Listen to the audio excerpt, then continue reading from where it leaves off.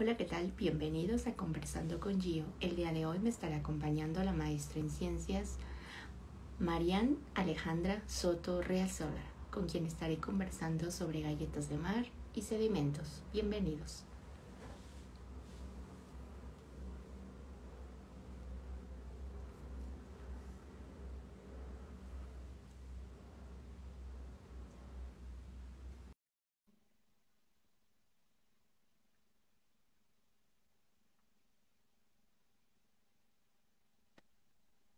Hola, Marian. Hola, ¿Cómo estás? Bienvenida.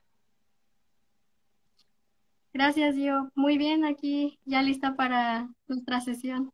Ay, qué bueno. Qué bueno que nos estés acompañando el día de hoy y que pues nos compartas un poco sobre ti, tu historia, tus proyectos y demás planes. Pero antes de comenzar, te iré presentando.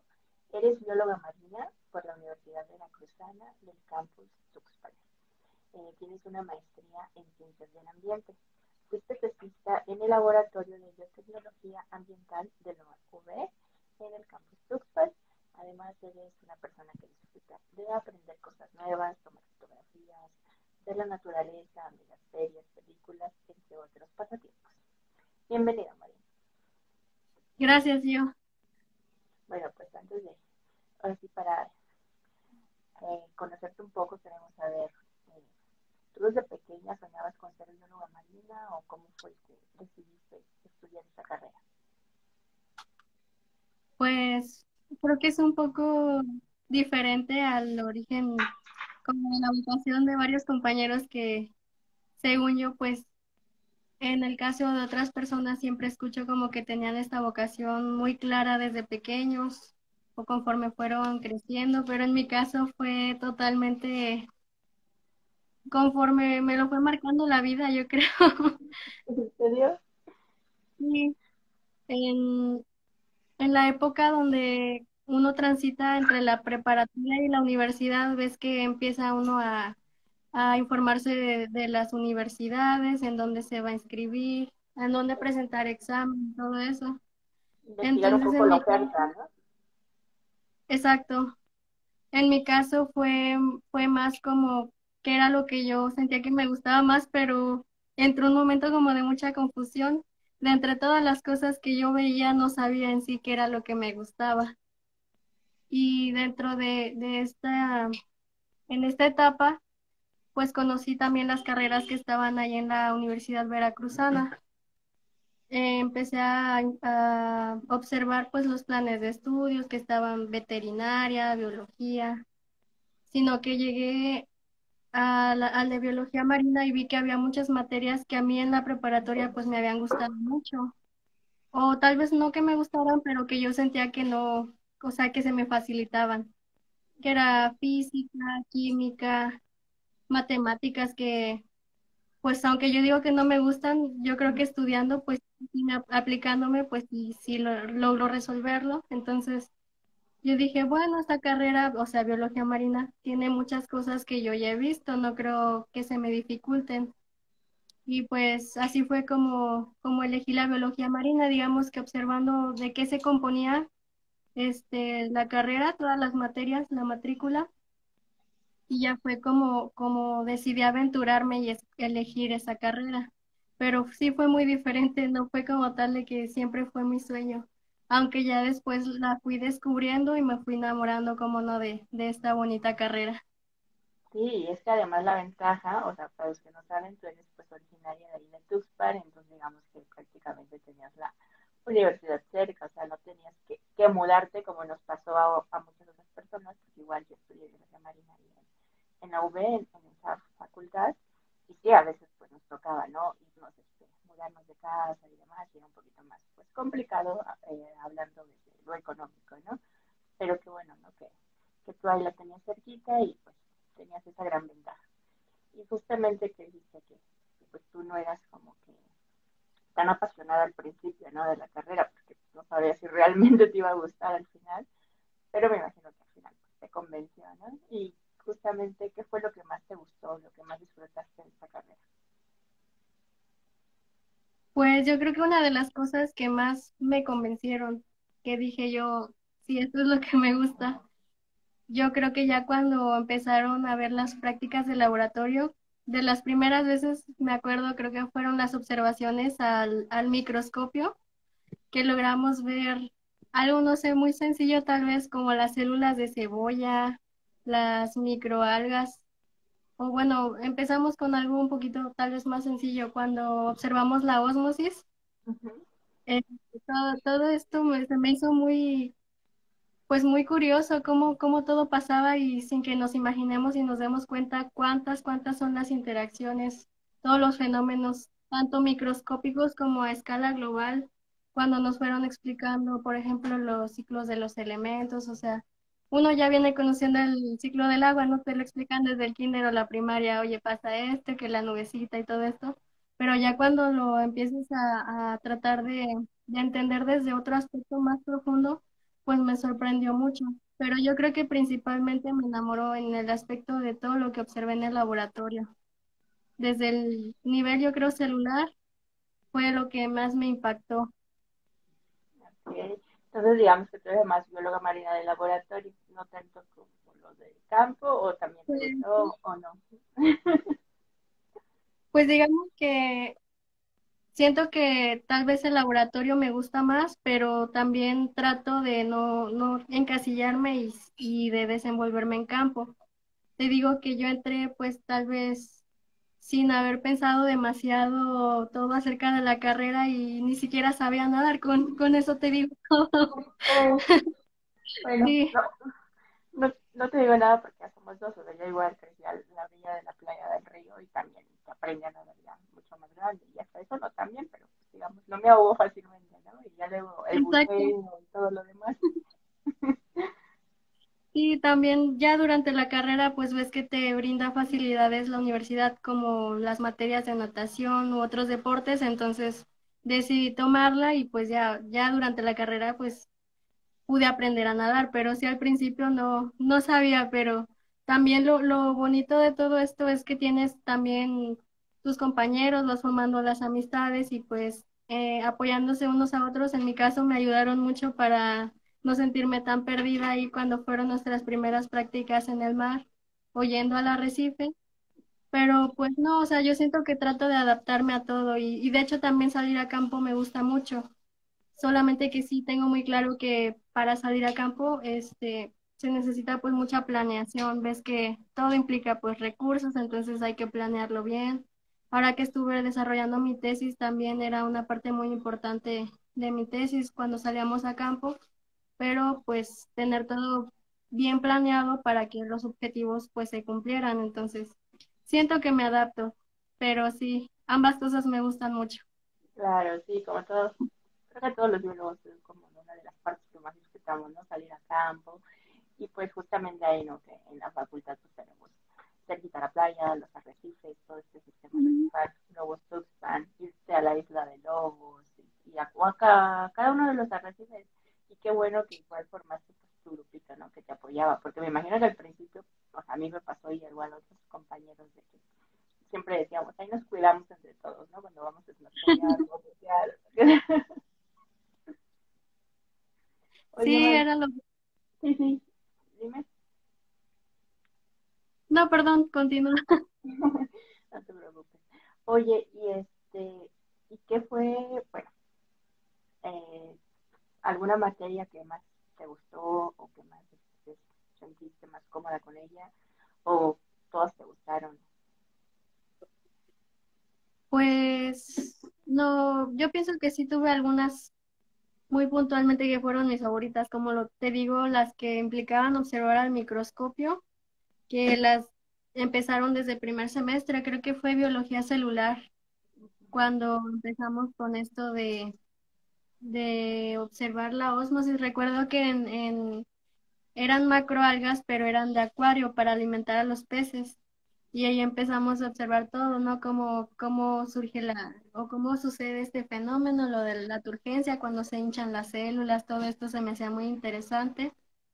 Y pues de ahí creo que todas las materias básicas en algo, en algo me surgieron. Tal vez no toda la materia, pero había temas muy particulares que, siento que disfruté mucho.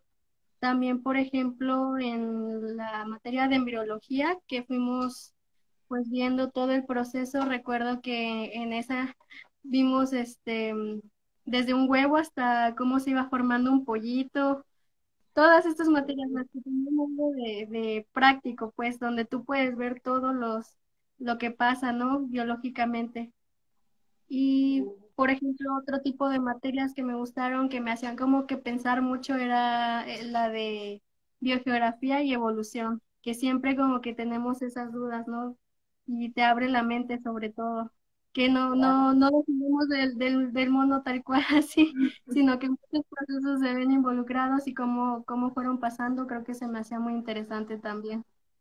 Sí, sí, coincido con la materia de embriología, a mí también me gustó bastante.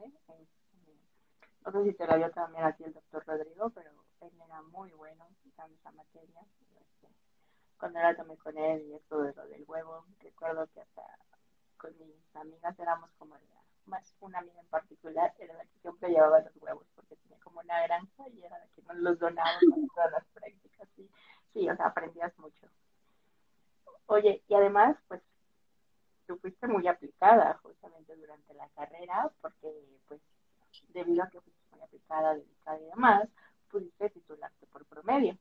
Entonces, también eso es un punto a tu favor y de lo cual también te quiero felicitar porque también sé que, o sea, Biología Marina también es complicada, o sea, no, no todo es ir a bucear o ir al campo, también cuesta y la verdad es que pues demostraste, ¿no? Este, sacar adelante la carrera y pues posteriormente pues ya viene este, esta decisión, ¿no? De entrar a la maestría, ¿nos puedes contar un poquito del proceso? ¿Qué fue lo que te llevó a, a tomar esta decisión?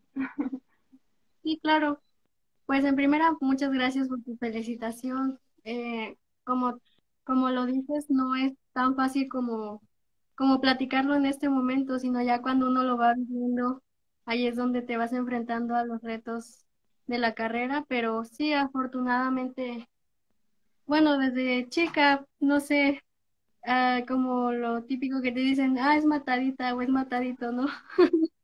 pero simplemente yo creo que me gustaba aprender y tal vez cumplir, yo creo, era ese aspecto que siempre me ha gustado y también en, en mi familia como que nos, nos, nos dicen mucho que tenemos como que esas cualidades, ¿no? De, de ser inteligentes, pero yo creo que es más de, de que uno lee y, trata de cumplir las cosas.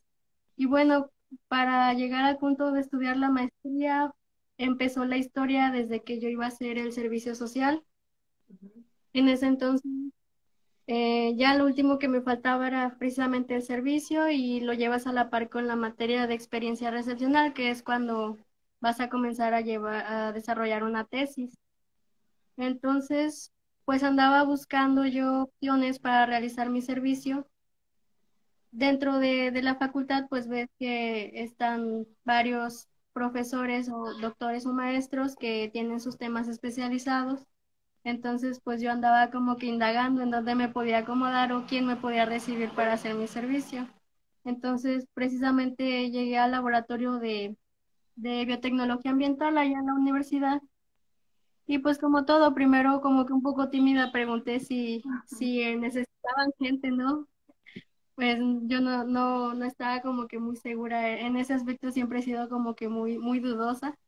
Y ya pues sí me recibieron con los brazos abiertos sino que em, me explicaron los doctores que ellos por lo regular llevan a la par tanto el servicio como el desarrollo de la tesis. Y en este caso, como la doctora Rosidalia, que era mi tutora también académica, ella conocía cómo iba, cómo iba yo con mis materias, me dijo, pues tú vas, vas bien, no has reprobado, tienes esta opción de titularte por promedio sería una muy buena opción porque uh, reduces tiempo de, de, investigación, te titulas más rápido, si tú metas trabajar, pues puedes empezar a trabajar mucho antes. Y pues así como el tiempo, también el recurso que es el dinero, ¿no? Pues uno necesita siempre para sus pasajes, para estar yendo a la escuela, alimentos, etcétera. Entonces, pues a mí me pareció muy bien, pero de todas maneras, para aprobar la materia de, de experiencia recepcional mm, como requisito eh, necesitaba yo empezar a investigar un tema. Entonces ahí mismo se fueron hilando, digamos que las cosas.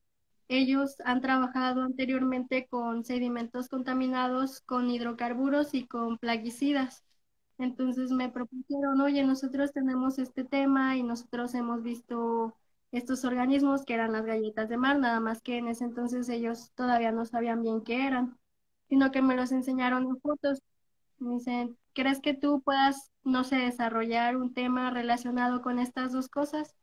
Y ya, pues les dije, pues sí, o sea, por mí yo lo hago. Entonces, ahí empezó la aventura de, de, de, mi tema que posteriormente me serviría para la maestría. Empecé pues documentándome, primero había que ver qué especie de galleta de marera. Ahí también vi pues, ah, también es un erizo, pero es diferente, ¿no? Es un erizo. Este, los sedimentos, qué son, por qué es importante, por qué están contaminados o qué es lo que causan, etcétera. Entonces ahí fui hilando, fui hilando y al final en la licenciatura, pues ya no, en sí no, no fue, digamos que fue este material que en el que me fui documentando y todo eso, pues no fue en sí necesario, fue solo como que el requisito.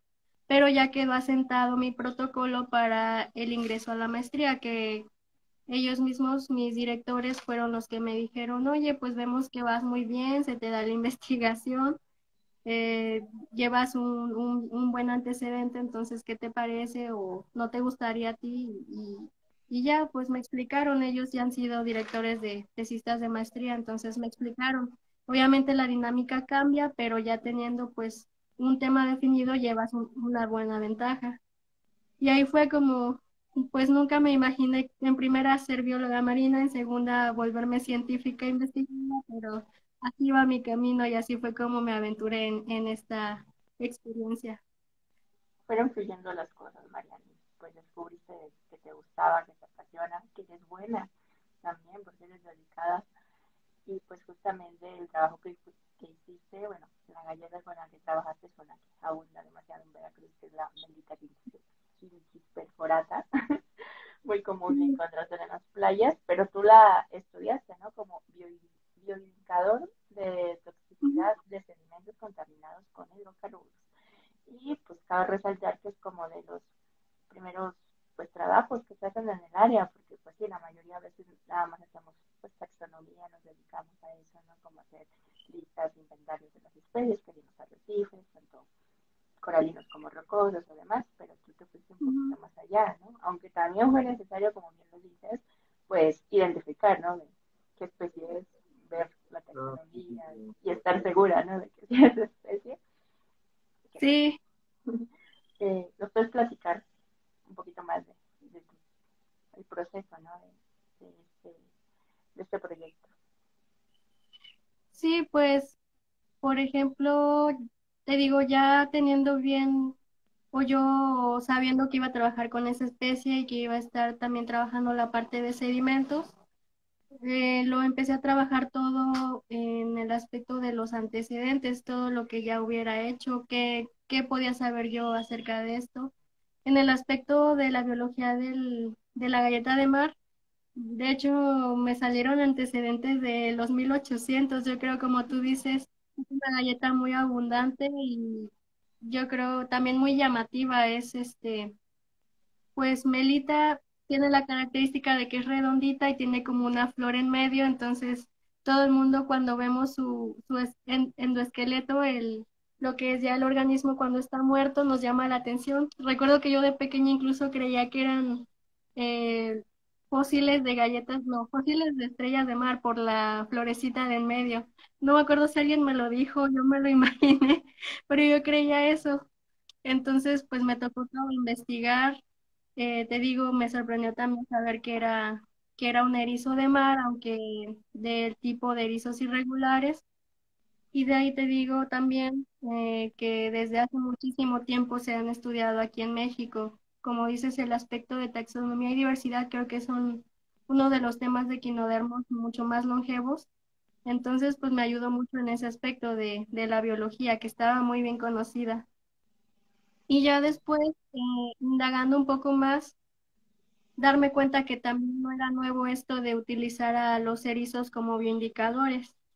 Me di cuenta, como tú dices, este trabajo iba a ser algo nuevo, yo creo que en el área, mm, en el área o también en México, porque en sí trabajos así con erizos de mar no, no llegué a encontrar alguno de aquí de México, pero sí llegué a ver muchos antecedentes de, de Europa y España, que es donde se han especializado mucho en estos temas. Se utilizan para observar los, los efectos de sedimentos contaminados, por ejemplo, de zonas petroleras o de derrames de petróleo que han ocurrido, o también, por ejemplo, no solo para hidrocarburos, sino para metales pesados, entre otras cosas.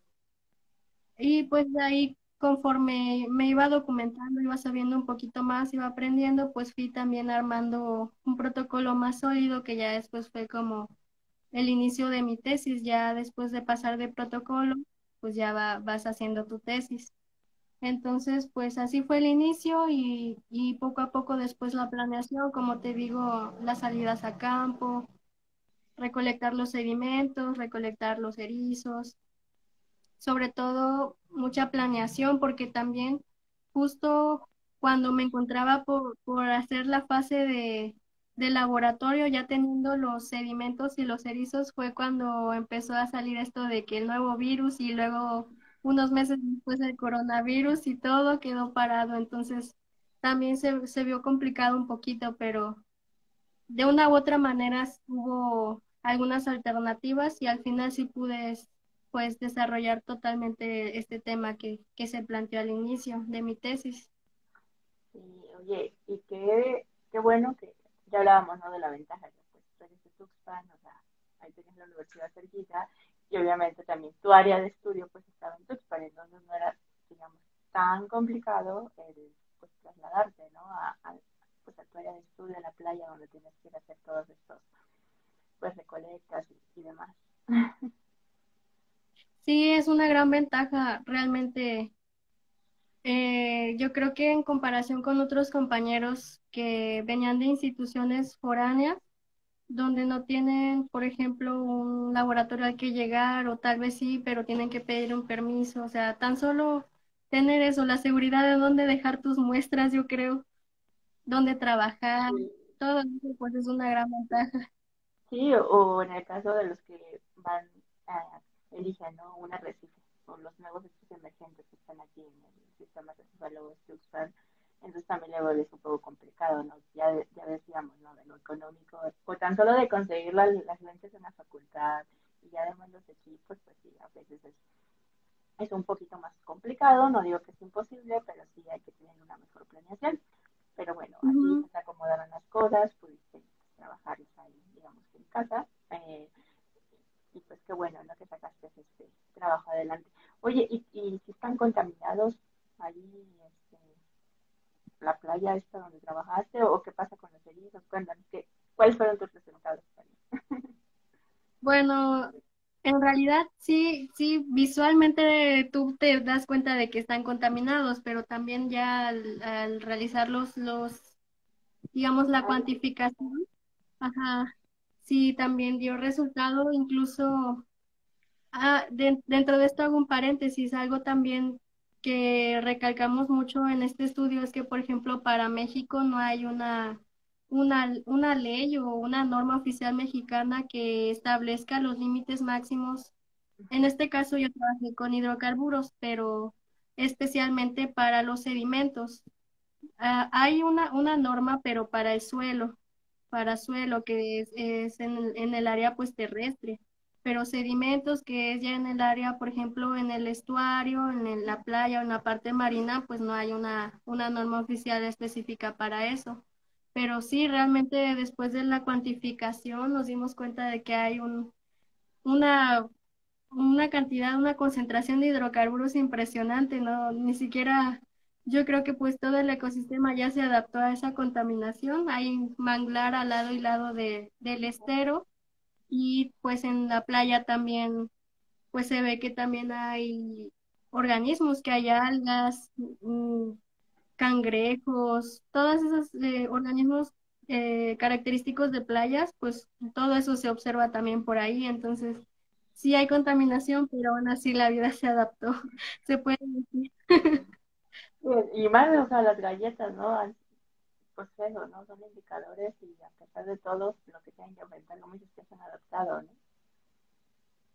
Sí, en este caso, un punto importante es que mm, las galletas no eran de la misma zona para que no estuvieran adaptadas como otros organismos y así pudiéramos ver cuál era el efecto de la contaminación este, puntualmente, pero aún así, por ejemplo, mi comisión, eh, precisamente el doctor Rodrigo me dijo, oye, está muy bien planeado que la galleta sea tu modelo, porque precisamente habita en, en, la parte de los sedimentos donde se acumula el, hidrocarburo. Cuando pues hay un derrame o fuga, lo que sea, vemos la manchota de petróleo que va pues sobre, sobre la columna de agua, no se queda. Pero lo que nosotros no vemos es que con el paso del tiempo hay unas fracciones más pesadas que se van adhiriendo a las pequeñas partículas que hay en el agua y van quedando en el sedimento. Entonces, pues ahí tú sabes que viven un montón de organismos bentónicos y dentro de esos organismos pues están las galletas, que pues lo hace ideal también estudiarlo de esta manera. Sería algo que posiblemente las, las pudiera afectar y pues algo, digamos, un escenario en, en, algo que comúnmente sucede, que cada cierto tiempo resulta que hay contaminación, que ya pasó esto, ya pasó lo otro, sobre todo en esta área de Veracruz y del Golfo de México que son importantes en el aspecto petrolero. Sí, y luego para variar cada rato hay este, derrames, ¿no? Y ya luego ya este, te como dices tú, a todos estos organismos, este, tanto en la columna de agua como en los alimentos, a veces pues ahí se ven las consecuencias, ¿no? Como que y es importante que hagas este tipo de trabajos porque así demuestran ¿no? que se ven afectados, o sea, que realmente está pasando algo y no solamente son así como de que somos demasiados dramáticos, ¿no? Porque a veces los que más eh, se quejan, o bueno, los que más este, les afecta, pues a veces son los pescadores, ¿no? Porque pues ya no pueden ir a pescar o, o demás. Y entonces, este, ya con este tipo de estudios que tú estás haciendo, o sea, estás demostrando que no solamente pues, los peces o, especies pues, grandes no son afectados, sino que también hay consecuencias a futuro, ¿no? Porque pues, toda esa acumulación, ¿no? Que, que se va, va dejando. Sí, así es. Es, eh, yo creo que también es muy importante esa parte de visibilizar el problema, no solo, ay, se derramó un, un barco, un buque, no sé, o se rompió una tubería y hay una manchota que feo se ve mal, ¿no? Sino que realmente está causando una afectación. Tal vez tú piensas que no te afecta de cierta manera, pero ¿cómo sabes tú que no, por ejemplo, la, el zooplancton no se alimentó de, de, en esa zona, no, no van acumulando los, los tejidos porque muchos de estos contaminantes se van este, transmitiendo en, en, las cadenas o redes tróficas. ¿Y cómo sabes tú que a lo mejor el, pescado que compraste tú para consumirlo no trae todo este tipo de contaminantes, tan solo de los microplásticos, ya ves cómo se habla también? Claro, sí, y, y además también hacer visible como este tipo ¿no? de, de, las playas y los alimentos y demás. O sea, porque muchas veces con el derrame, eh, por ejemplo, en Tuxpan luego dicen los de ciertas secretarías nada más van a poner atención a los arrecifes, que lobos, que Tuxpan, que Tanguijo, y ah, no, no les pasa nada, entonces ya no hacen nada. Y no ven estas otras zonas como el estado de Tumilco, todos los manglares, o sea, que también se ven afectados y son muy importantes, ¿no? También es, sí. hace falta como que ponerles esa atención, ¿no? Sí, sí, yo creo que es una tarea también muy importante visibilizar. Eh, en general, tal vez uno como científico se llegue a enterar de alguna u otra otro tema cuando tú estás indagando, no investigando, te, te salen los, los papers, los artículos, pero también la población en general no tiene que saber, este, oigan, está pasando esto. Por ejemplo, cuando mi familia o amigos me preguntaban, oye, ¿y tú qué, qué haces o de qué es tu tesis? Bueno, es que fíjate que hay esto y el otro. Ay, no me imaginaba que había todo esto, ¿no? O, cómo va a ser, no sé. Como que sí es un impacto, tal vez no a gran escala, pero empiezas tú a comunicar todo eso, todos los fenómenos que pasan. En mi caso, pues, por ejemplo, compartiendo con los compañeros de clase en la maestría, yo aprendí de, de mis compañeros y mis compañeros yo quiero pensar que también aprendieron un poquito de lo mío, entonces se me hace muy padre también en ese aspecto que uno pues puede aumentar sus conocimientos en diferentes temas. Y espero que, que se haya viralizado, se haya comunicado un poquito también de esta problemática, como lo, lo dices. Sí, y es que tan solo, con tan solo que les hayas, por ejemplo, a tu familia, ¿no? O amigos que a lo mejor no se dedican a la ciencia, con que les hayas, este, pues, comunicado, que les has dicho que las galletas de mar, no sé, en, en mi casa, bueno, en la playa de por mi casa les dicen comalitos, no sé cómo les conocen coloquialmente, entonces, que tú les hayas dicho, es un equinodermo, un erizo de mar, o sea, y es importante que no se los lleven porque te ayudan, o sea, tan solo con que les hayas transmitido eso, creo que ya es como ganancia, por así decirlo, ya, estamos ganando. Y también otra parte, ¿no? Como de, de transmitir lo que bien dicen, o sea, a todo el público en general, el, por qué se hacen este tipo de trabajos, no nada más lo haces porque te quieres titular, sino también porque hay una problemática atrás, ¿no? Y como dices tú, visibilizar. Y también, pues, este, motivar a otros estudiantes, ¿no? De que hace falta más estudios sobre estos temas, de que sí se pueden hacer este tipo de proyectos en México. digamos que es como la punta del iceberg, ¿no? Este trabajo que tú desarrollaste, este proyecto. Sí, exacto. Solamente es, es un inicio. En este caso, eh, me tocó tal vez batallar en ese aspecto de que no tenía como que exactamente a quién acudir personalmente. Tanto mis directores como yo estábamos igual aprendiendo sobre la marcha de este tema pero al final este trabajo le puede servir, o sea, por mí encantada de que le sirva a otra persona que esté interesada, tal vez no exactamente con este erizo o tal vez no exactamente con sedimentos contaminados con hidrocarburos, o sea, se puede diversificar y puede dar para muchísimo este, este tema que es como tú dices la punta del, del iceberg. Y sí, este, me gustaría, para mí sería como que muy, muy grato que alguien le dé continuidad. Si no soy yo mismo, pues que alguien le dé continuidad a este trabajo. Claro. Bueno, pues invito a todos los que nos están acompañando que si tienen preguntas, este, felicitaciones o lo que le quieran dejar a Marian en los comentarios, por favor lo vayan haciendo. Y mientras tanto, Marian, este, digamos que si te volvieran a preguntar, no que si volverías a estudiar biología marina, ¿lo harías? ¿O escogerías otra carrera? Sí, sí, sí volvería a estudiar. Este, ya cuando me di cuenta de, de que en realidad es algo tan apasionante, tan vasto, cosas que te hacen entender no solo pues a un organismo, hacen entender cómo funciona el mundo, cómo funcionas tú, porque también pues vas viendo biología que se aplica para todo todo, todos los aspectos, este, las sustancias de nuestro mundo, todos los organismos, los alimentos, o sea, todo está involucrado, todo está relacionado y yo creo que ha abierto más mi mente esta, al haber estudiado esta carrera. Y, y estoy muy agradecida también de que conforme se dieron las cosas, pues sí la haya estudiado y yo creo que en una segunda oportunidad yo diría que sí la estudio, pero tal vez si pudiera modificar algo sería entrando ya sabiendo nadar.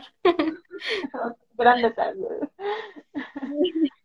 Oye, y hasta ahora para ti, ¿cuál ha sido tu, tu, mayor satisfacción? Ya sé que a lo largo de tu vida has tenido muchas, pero alguna que nos quieras compartir. La mayor satisfacción, tal vez el, el que me pregunten algo y yo saber contestarlo, porque muchas veces me da como este síndrome de la impostora, creo, de que, ay, no, yo cómo voy a saber, o, ay, no, yo, yo, paso, preguntarle a alguien más, todo esto.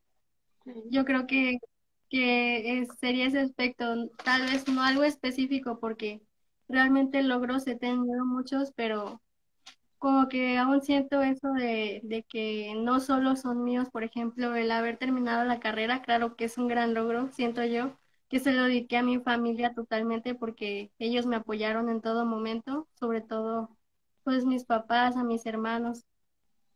Y todo, cada, cada punto también, por ejemplo, ahora que culminé, culminé la maestría, pues también muchas otras personas me ayudaron.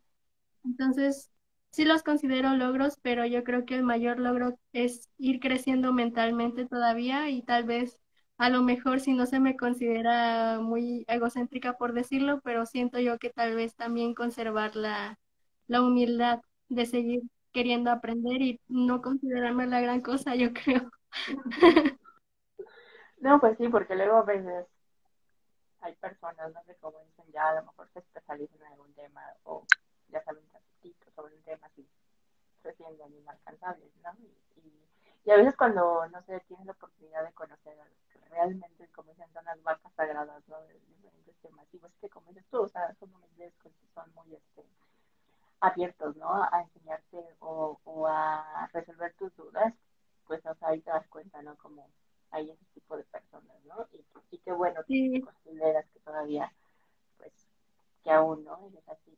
O sea, ahí sí, lo, lo demuestras, sea. Pues yo en, en sí lo que trato es no de presumir ni, ni, ni nada, pero por ejemplo, cuando se me presenta la oportunidad de yo ayudar a alguien, trato de hacerlo porque me pongo en el lugar de la persona. Y, y me gustaría, o mi filosofía de vida es que si yo ayudo, yo creo que la vida tal vez en, en un punto donde yo también necesite, pues voy a recibir la ayuda. Entonces, quiero, quiero pues seguir conservando este pensamiento y tal vez, no sé, no sé, ahí la vida me dirá. Sí, como dicen, todo tiene sus recompensas, ahí, como dicen, no tienes la oportunidad, ayuda, no mires a quién, a veces no recibimos como esa felicidad, pero pues no importa, o sea, tu ayuda y sigue manteniéndose así, porque como bien dices, todos en algún momento pues tuvimos ese, esa duda, igual no nos fuimos sabiendo cosas, entonces pues, todos estamos aprendiendo, ¿no? Y mira, por ahí te pregunta qué es lo más grato que te dejó la maestría, así como también tu tema de tesis. Mm, tal vez lo más grato ha sido el aprendizaje. Como les comentaba, me gustó mucho que había diversidad de perfiles en la maestría porque no todos eran biólogos. De hecho, solamente una compañera amiga mía que también era bióloga marina y otra compañera que era bióloga general y de ahí creo que no había más biólogos. Eran ingenieras, ingenieras ambientales, me parece, un ingeniero ambiental, un abogado, ingeniera civil, había mucha diversidad en, esta generación, entonces al compartir nuestros temas, obviamente nos, nos nos educábamos en otro tipo de cuestiones ajenas tal vez a uno y me agradaba mucho el, el ver exponer a otras personas. Me, me, gustaba mucho no solo aprender en sí de la parte del, del contenido, sino de cómo se expresan, cómo, cómo son las personas, cómo comparten las cosas. Yo creo que esa es una de las de las gratitudes y también el aprendizaje y de mi tema de tesis, pues obviamente yo creo que lo que más me gustó y de lo más grato fue el haber trabajado con la galleta de mar, que aunque no tienen ojos, no tienen boca, no hablan, no se quejan, pero para mí se me hacen unos animales muy bonitos. eh, y observarlos tan solo siento que fue algo, una experiencia muy, muy padre. Mucho tiempo me tocó estar yo sola en el laboratorio, pues observándolas, observando las larvas, cómo fue el proceso de fecundación, todo esto. Entonces, es algo que te digo, mm, aunque ya lo haya visto anteriormente, tal vez en una práctica de laboratorio como estudiante, ahora como estudiante de maestría, que yo lo tenga que hacer para una parte de mi trabajo de tesis, pues es ya un tiempo diferente, entonces, pues como quiera me asombra, me asombra verlo, me asombra qué es lo que puede pasar, eh, tomar las fotografías de las larvas también fue, fue un reto en el que tuve que ir aprendiendo un poco con tutoriales y todo, pero al final sí, sí se concretó y se logró culminar mi trabajo, que es también algo muy, muy, muy importante para mí, de lo que me siento muy feliz también. Sí, es que además, trabajar con larvas, llevar todo ese proceso de la reproducción tiene su, su chiste, como dicen, no es nada sencillo, o sea, a veces creo que se llegan a morir o, lo que o no se te da, ¿no? Las fases, ¿no? también debe ser muy frustrante, o sea, y que tú hayas conseguido, mi respeto, María. Oye, y, y, y dando un poco a ese tema, bueno, está, ¿no? De que es complicado. ¿Para ti qué fue lo más difícil en tu proyecto? Yo creo que, como tú dices, esta parte de, de la reproducción, pues ahí había manuales, había antecedentes de, de, otro tipo de erizos. Entonces, en base a eso, es que se, se realizó en, en, esta galleta de mar en particular, pero obviamente de lo que dice a lo que, a lo que tú haces puede haber muchos cambios, tan solo cambio de temperatura, no sé, los requerimientos específicos de la especie. Sí, como que yo creo que fue un poco difícil, pero ya cuando se logró la fecundación, de ahí pues corrió normal lo de la parte experimental, que obteniendo ya el óvulo fecundado se pueden exponer a, los, a las sustancias que tú estás observando, en este caso yo de los sedimentos hice lutriados, que es combinar el sedimento con agua de mar, se somete a agitación y luego lo filtras, entonces este líquido va a tener la parte contaminada, pues, en este caso hidrocarburos. Entonces, ya teniendo los óvulos fecundados, se exponen a estos tratamientos y al final puedes observar lo que sucedió en, en las larvas. En este caso, el, digamos que el resultado más destacado fue que las larvas en desarrollo normal alcanzaban una longitud, por ejemplo, de hasta medio milímetro. Te puedo decir un ejemplo, no recuerdo bien cuánto era, pero más o menos aproximado hasta medio milímetro, ¿no? Y las larvas que se expusieron a estas sustancias del contaminante quedaban muy pequeñitas, una, una longitud muy, muy diferente, con diferencias estadísticas eh, notorias también.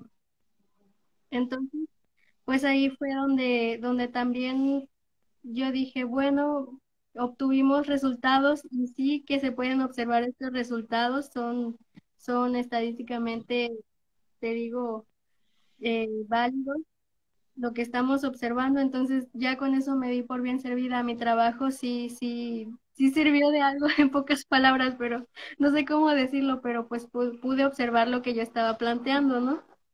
Entonces también fue muy, importante para mí. Si obtuviste resultados, digamos, porque a veces llega a pasar, ¿no? De que no pues no obtenemos ¿no? lo que esperábamos y que también son resultados, pero sí es un poco más. Sí, también. ¿no? pero qué bueno que sí lo lograste, María. Oye, y para ti, ¿quiénes, han, ¿quiénes son o quiénes han sido tu inspiración? Como científico, yo creo que tengo como en uno por cada dedo de mi mano. Para empezar, me, me adapté muy bien con mis directores de tesis, que yo creo que en la vida siempre tenemos maestros que nos marcan en, en nuestra vida como estudiantes, ya sea desde la primaria o así. Entonces, en la carrera, yo creo que fueron ellos que con los temas que fuimos viendo me, me dejaron también sorprendida y saber cómo ellos también dominaban estos temas. Yo creo que también al investigar me sorprendió mucho que una de las primeras científicas mexicanas y que aportó muchísimo en el campo de los equinodermos, pues fue la doctora María Elena Caso Muñoz, que si tuviera una máquina del tiempo me gustaría regresar para conocerla también. Somos dos, creo que ya hay muchos. Pues también al documentarme, claro que el nombre del doctor Solís Marín sale muchísimas veces y también cuando hay conferencias o eventos online y puedo verlo, pues ahí estoy eh, también fascinada con todo el trabajo que ha hecho. También podría decir que el doctor Ricardo Beiras, que es el principal autor de mis antecedentes, el que te digo que es de España, también yo diría que sería todo un honor conocerlo, por ejemplo, tanta dedicación en este tema en específico, sería, serían todos ellos, yo creo. Bueno, y, ya creo que contestaste, bueno, una parte de la, siguiente pregunta que era de que, pues, justamente de esas personas que, te inspiran y que admiras, con quienes te gustaría colaborar en algún futuro y conocer. Sí. Pues de colaborar, yo quisiera colaborar con mucha gente que me pudiera enseñar. estoy abierta a aprender, pero por ejemplo, cuando hablas de personas que que sean como, como un héroe, yo creo, serían los que te comenté. Sería como que un, un honor muy grande, yo creo, trabajar con ellos. que sí. Pues, te digo que les escribas, te presentes o lo que sea y vas a ver que sí, te pueden dar las cosas malas. sí, sí, sí. Oye, y bueno, tocábamos un punto en la charla que era esto, ¿no? De que muchas veces nos limita, ¿no? Es el financiamiento, ¿no? El obtener recursos para hacer todos los proyectos que, se nos vienen a la cabeza o que son importantes, etc. Hipotéticamente, si tú fueras multimillonaria, sabes, tienes todo el dinero, para ti, ¿cuál sería ese proyecto ideal que tú?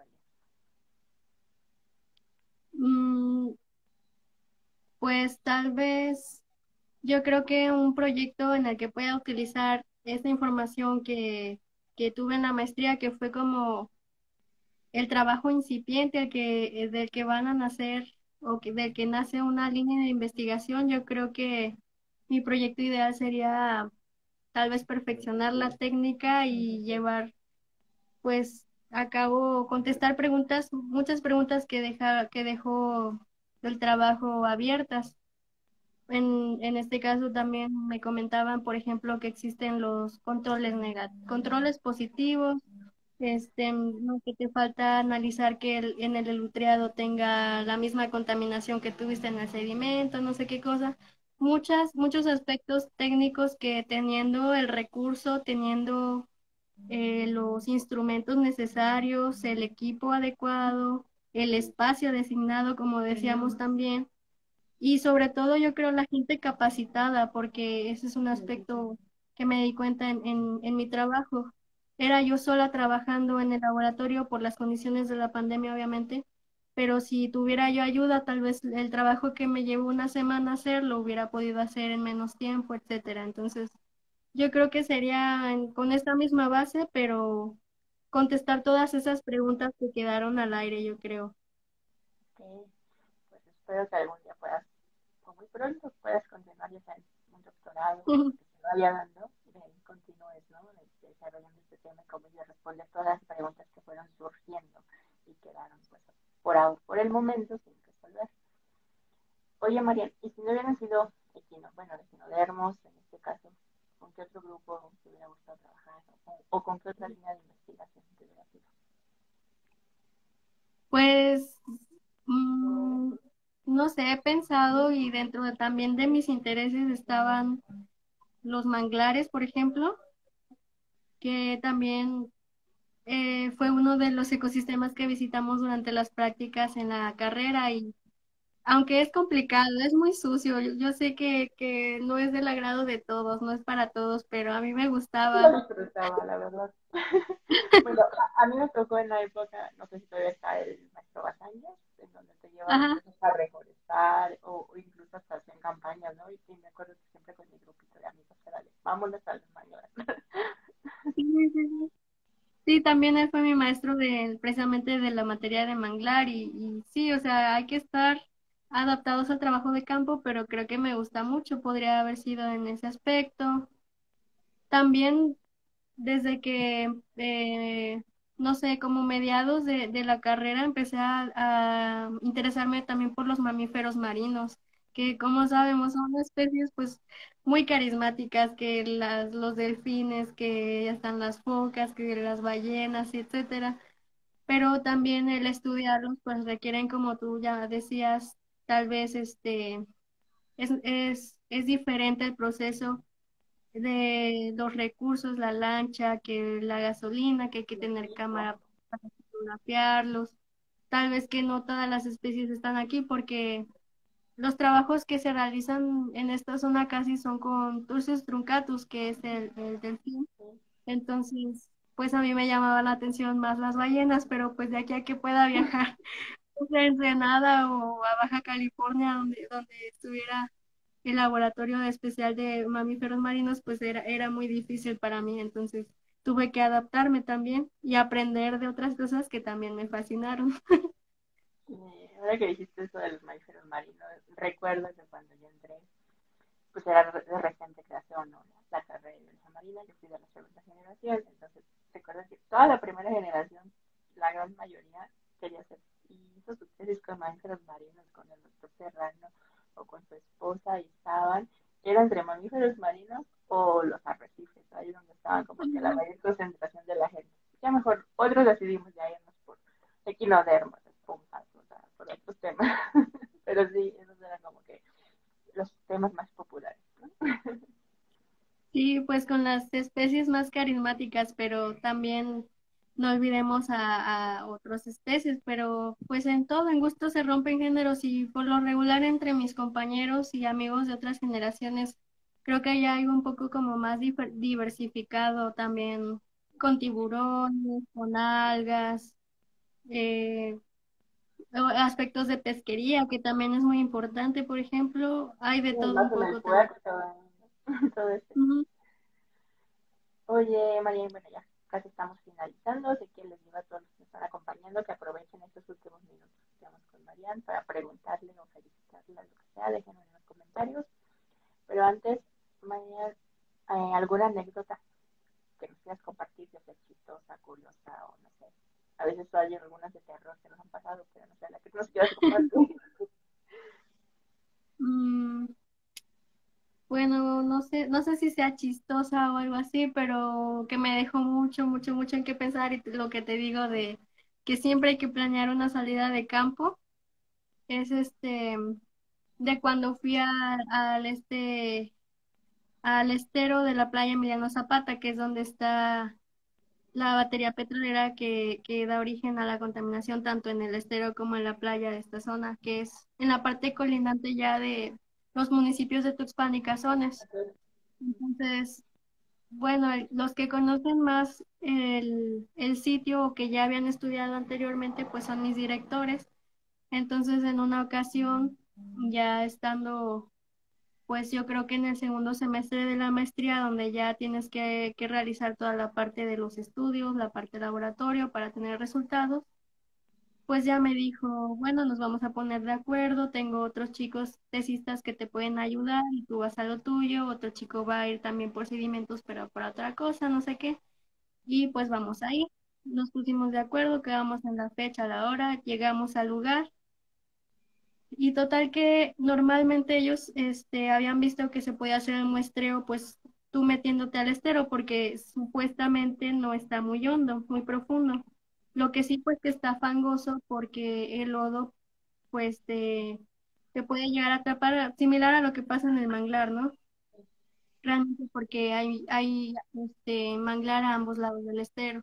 Entonces ya estábamos ahí, empezamos bien, nos metimos, que las bolsas, que etiqueta la muestra, no sé qué, pero conforme más nos íbamos adentrando, resulta que el, el agua cada vez más nos iba sobrepasando del cuerpo.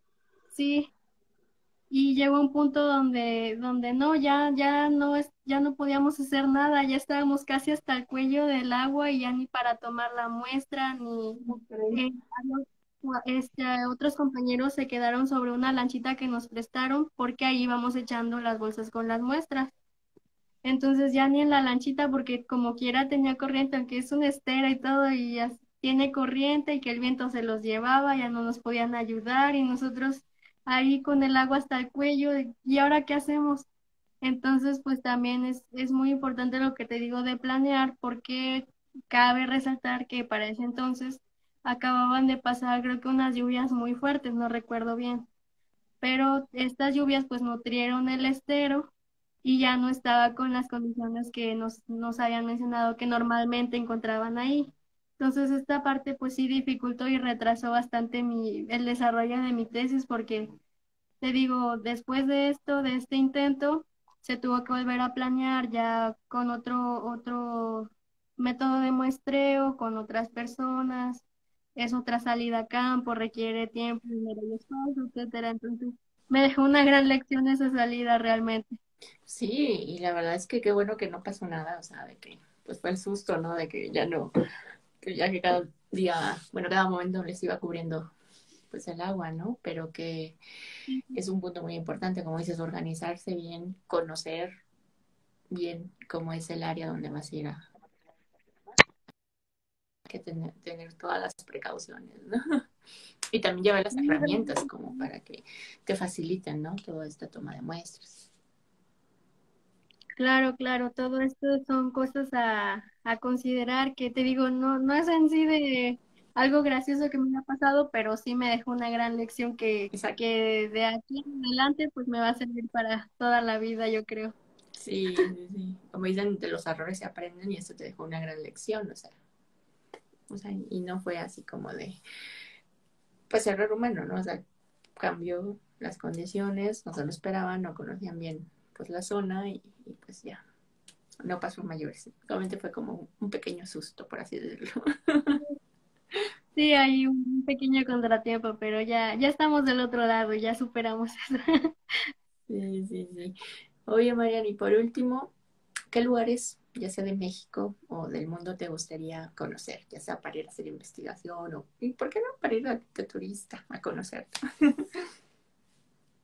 Yo creo eh, que sí tengo un punto ya fijado en la vista, que sería, aunque me digan que hay muchos bichos peligrosos, pero yo quisiera ir a Australia. No, pues he visto, sigo en especial a una chica youtuber y que también sube contenido aquí en Facebook, que se llama Angélica Ladino, me parece.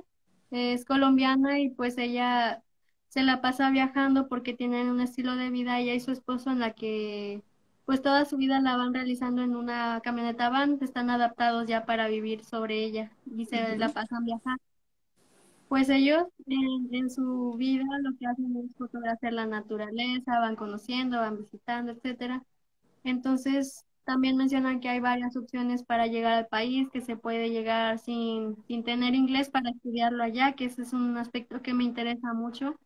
Me gusta mucho el inglés, pero quisiera en sí estudiarlo para tener una certificación y pues poder yo desarrollarme, llegar a un lugar de habla inglesa y pues que me entiendan. Tal vez beneficien en, en, el aspecto del trabajo o, o, en el personal, no sé, como tú dices, para visitar, yo creo que sería Australia. Ir a visitar también al doctor Ricardo Beiras a España, yo creo que sería algo muy bueno. Tal vez a lo mejor le interesaría tenerme tesista de doctorado, no lo sé. Claro, sí, sí, sí. Y un punto importante que dices esto, ¿no? Del inglés, que pues es importante.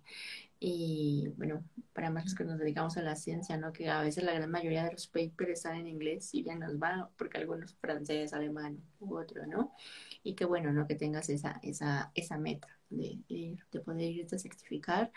Y lo que siempre les digo, que, bueno, porque aquí se dio, ¿no? El término que para los biólogos ir a Australia es como cumplir nuestro sueño americano, ¿no? De ir a conocer su país.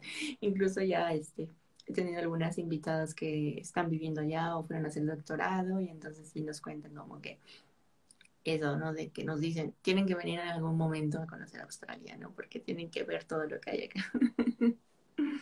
Sí, es un sueño realmente. Yo, pues te digo, lo veo como una meta tal vez a a mediano o largo plazo, pero de que es un sueño, es un sueño. y deseo que, que, lo puedas cumplir próximamente, Mariana. Ya después estaremos viendo ahí tus fotos, ¿no? Desde Australia, estás mostrando todos los bichos que ves, los equinodermos que encuentres cuando vayas a bucear y demás. Ah, muchas gracias, Dios. Sí, espero que sí. Sí, bueno, Marian, pues la verdad es que estamos llegando al final y, y pues te quiero agradecer que te hayas tomado tu tiempo de, de estar aquí con nosotros, de, de, contarnos pues tu historia sobre tus proyectos, anécdotas y demás. La verdad es que muchas gracias. Este, te deseo mucho éxito en todo lo que venga y pues lo que necesites o igual también si hay gente interesada en tu línea de, investigación, en tu proyecto que desarrollaste, si se quedaban con dudas, o sea, pues ya saben que te pueden contactar o igual si, no lo hacen directamente contigo, bueno, que me escriban y yo los comunico contigo.